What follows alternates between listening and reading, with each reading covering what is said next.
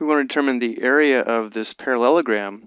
Remember, a parallelogram is a quadrilateral that has two pair of parallel sides, and the area is going to represent how many square units would fit inside this parallelogram. And since the units are in meters, we'll determine how many square meters will fit inside this parallelogram or this green shaded region. And the area formula for a parallelogram is area equals the length of the base times the height where this side here would be the base, which is the same length as the opposite side. So our base has a length of 50 meters, and our height, which is perpendicular to the base, is 38 meters.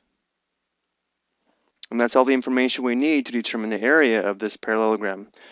Notice how we don't have to use the length of this side here. So the area is going to be equal to 50 meters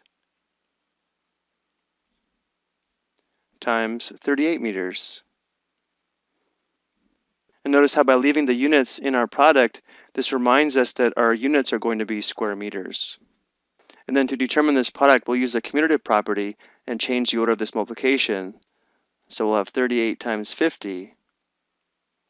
Remember when multiplying by a multiple of 10, we can just put a 0 in the ones place value and then multiply by 5. So 5 times 8 would be 40 carry a 4. 5 times 3 is 15 plus 4, that would be 19.